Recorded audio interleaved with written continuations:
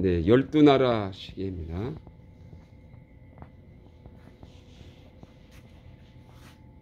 네. 자, 위성을 연결하겠습니다. 시작. 네, 위성을 연결했을 때 전 세계 시간이 자동으로 나옵니다. 네, 그 다음에 썸머 타임을 할 때는 어떻게 되나 보시겠습니다.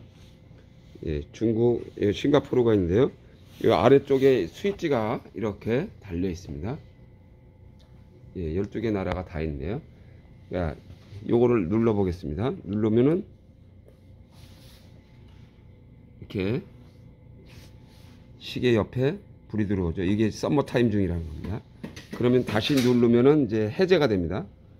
하나, 둘, 셋, 빼게, 빼겠습니다. 그럼 점이 빠집니다. 하나가, 시간이 하나가 다운되고요. 네. 썸머 타임 다시 눌러 보겠습니다. 네, 썸머 타임 됐고요. 해제. 예.